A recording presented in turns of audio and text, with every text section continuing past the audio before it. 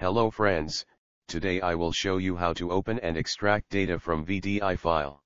Okay let's start. To open VDI file you need Power ISO application. Download the trial version from their official website or download full version from torrent websites.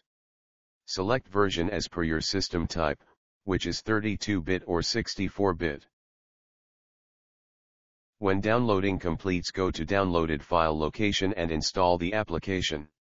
Uncheck the additional application if you don't want to install that on your system.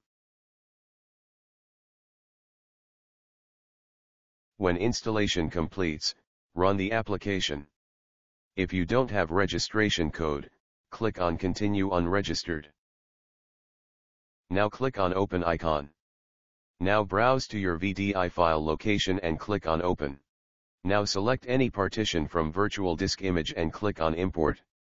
Now to extract data from VDI file, select which you want to extract and click on Extract icon. Now set a destination folder and click on OK.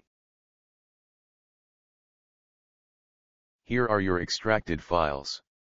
That's it friends, I hope you guys found this tutorial useful. Thanks for watching and please rate, share and subscribe.